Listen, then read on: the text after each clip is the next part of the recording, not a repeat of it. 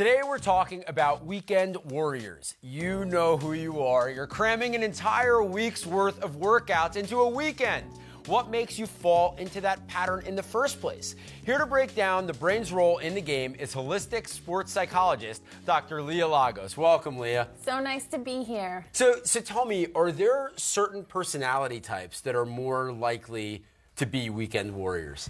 Yes, people who have a perfectionistic tendency in their personality, meaning you want to do everything really, really well. You want to have a great career, a great family, you want to be a great athlete, and you want to do it all at once. So you're constantly fighting time demands. You have a 12 hour work schedule because you're trying to do that perfectly. You're taking your kids to after school activities and wanting to do that perfectly because that's important to you. And you're pushing off more and more things to the weekend because you're running out of time. So when you get to the weekend, you're trying to even do that perfectly. Your weekend workout. Until you uh, until you said the uh, kids thing, I felt like you were describing me for some reason. um, now, my next question then is, you know, are there any problems or shortcomings with having this weekend warrior mentality?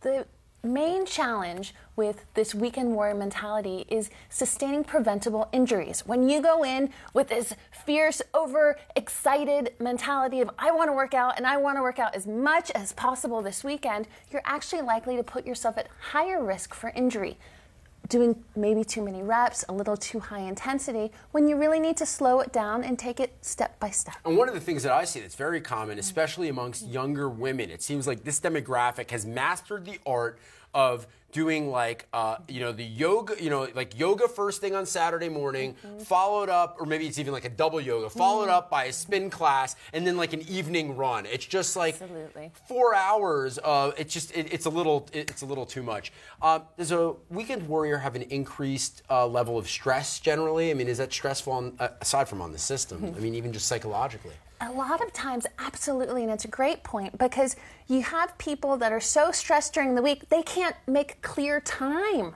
to